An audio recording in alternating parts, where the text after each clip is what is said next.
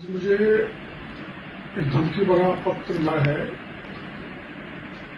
किसी पॉलिटेट मानसिकता के व्यक्ति ने लिखा है। नौ जुलाई का पत्र है, जिसमें मेरे को धमकी दी गई है कि कन्हैयालाल को आपने जाकर एक महीने की तनख्वाह दी। राजस्थान में दरअसल में इनका ऐसे अपराधियों का, जिहादियों का, समाज कंटकों का मनोबल बढ़ा हुआ है।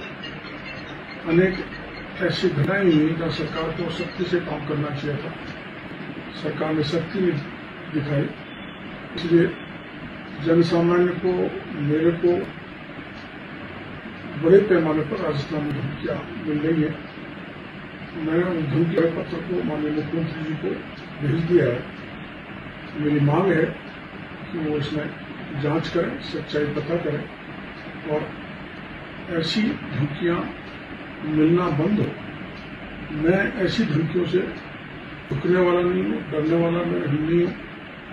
मैंने जो अभियान मेरा हाथ में रखा है उसको कोई ऐसी जिहादी ताकत नहीं रोक सकती, मैं रुकने वाला नहीं हूँ। मैं ऐसे कन्हैयालाल जैसे व्यक्तियों के परिवार की मदद मदद वस्तु करता हुआ धमकी देने वाला ये समझ ले कि मैं किसी स्थिति में डरूँगा नहीं